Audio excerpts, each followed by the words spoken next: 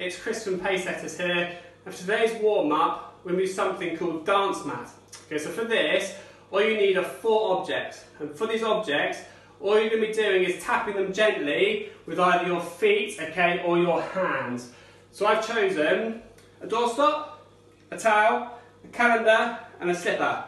Okay, and you want to stand in the middle, and you want to place them around you like doing a diamond. Okay, and you also need someone else to help you, because they're going to be calling out an object for you to touch. Okay, so your first movement is, if you just jump on the spot, the person helping you so to call out an object, and you're going to touch that object with your feet, either foot, okay, as quickly as possible. Towel, back to jogging, so that was one. Calendar, two. Okay, slipper, three. Doorstop, four. Okay, you keep on doing that until you get to 10. Okay, the next one, okay, you'll be hopping. Okay, so might be slipper. Back to hopping, so that's one. Okay, towel, if you're reaching across your body, it's good for your balance. Okay, so that was two. Calendar, three. Do this five times, okay? Doorstop, four. Doorstop, five. We'll do five, switch legs, and then do that five times as well. Okay?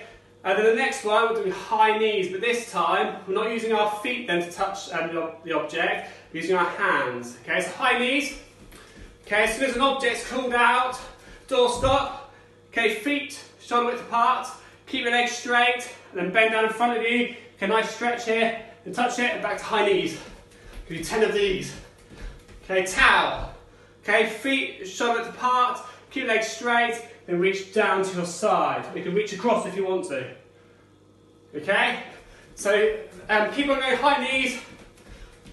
Okay, calendar. This time feet shoulder width apart, straight legs. If you want to go through your legs, that's fine. If you want to try and be really flexible, go on the back, that's fine. Okay, so do that 10 times. Okay?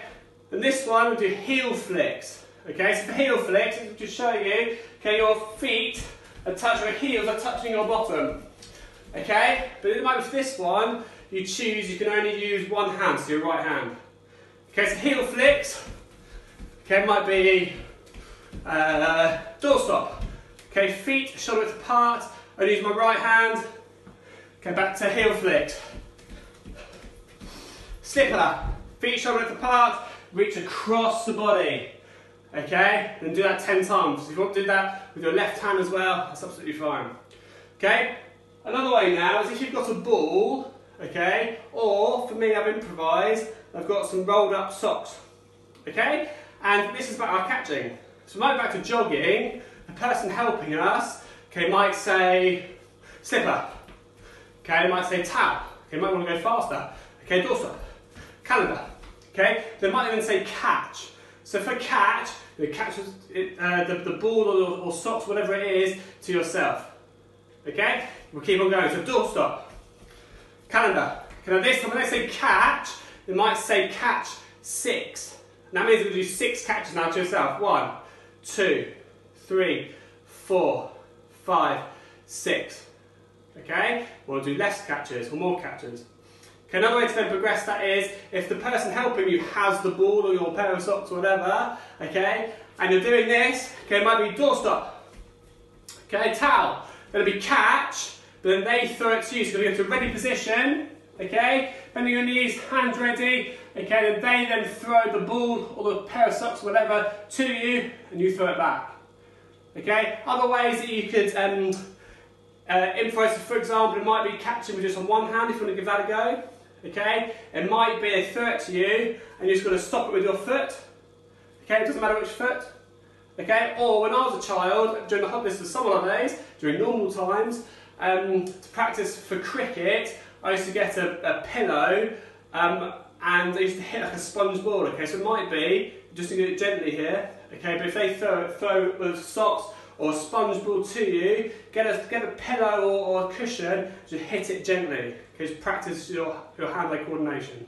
Really important to hit that gently. You're not trying to whack it inside, just trying to stop it.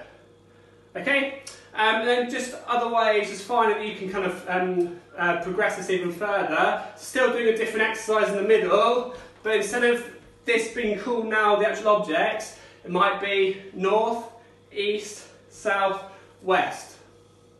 Okay, so still doing your exercises. Okay, west. okay? East, okay? Or it might be southwest, back here. Okay, to test yourself. Okay, so said, loads of different ways. It might be you, you want to change your objects halfway through to make it interesting. Okay, or halfway through, you might want to change whereabouts your objects are. Okay, so you've got to always think then. Okay, so then have change position. Okay, but have lots of fun with it. You can change things around, change your exercise in the middle if you want to. Okay, change which part of your body you want to touch them with. Okay, yeah, just have lots of fun.